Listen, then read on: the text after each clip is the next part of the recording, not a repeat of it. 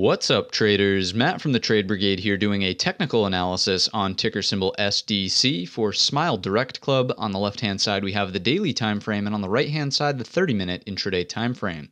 First things first, this will, of course, be a bit of an update, and the main thing to talk about is, of course, the large red bar that printed on today's session. Do keep in mind it was on lower volume than average, or at least what we've seen over the past couple of sessions, so that's something to talk about, but not the, you know, it, it doesn't mean that it's bullish per se. It just means that the selling activity wasn't really a huge panic, uh, even though the candle might have suggested that. Okay. So, what I want to talk about is the fact that we've now closed underneath this level right here, the $6.33 mark. What you'll remember is that from the Wednesday, Wednesday, excuse me, breakout session here, low up to the high, that was the 38.2 pullback area from the Fibonacci uh, numbers and also held into this session here. Now that we've closed underneath it, I am a little concerned that we do move lower. Keep in mind 604 and 6, the round number are supports underneath us. However, a close under that opens the door for much lower back towards that $5.60 mark. What you'll notice from the daily time frame as well is that there's been a lot of volatility here, but there hasn't been a whole lot of trend activity, right? Basically,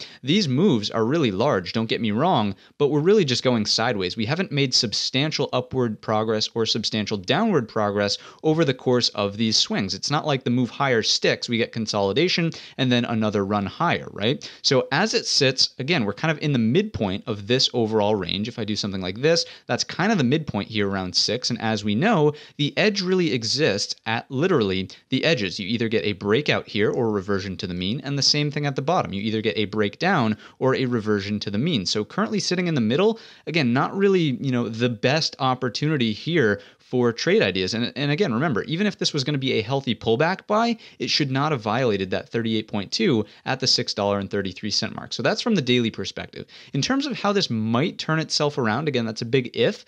Uh, I would be watching this resistance trend line quite simply. If we come in from the highs, do something like this, bam, there's your first touch, kind of right in here. Well, you'll notice anchor, touch one ish, two ish, kind of just this general area. We don't really shift the momentum until we can recapture that resistance trend line. So that would be a simple thing to watch here. Obviously, getting back above 633 is a more bullish thing. Consolidation here strikes me as healthier price acceptance, right? As long as we don't move to the low end of the range. So maybe it turns into something like this. Again, this is if we can recapture this over the course of the next day or two. Anything more than that and any more downside sort of negates this theory in my estimation. So again, if we can get back in, fine. Daily bull flag could be in place, something like this. Breakout over 682 takes us into 734, so on and so forth. Let me scrunch the chart up so you can see that we have more upside targets really, I would I would make the argument that this is going to come into play as well, closer to 785. This little dead cat bounce. Again, I'm talking way in terms of speculative, uh, you know, areas to the upside if this even turns into a bull flag in the first place, right? So I'm not saying it has to get there this week, tomorrow,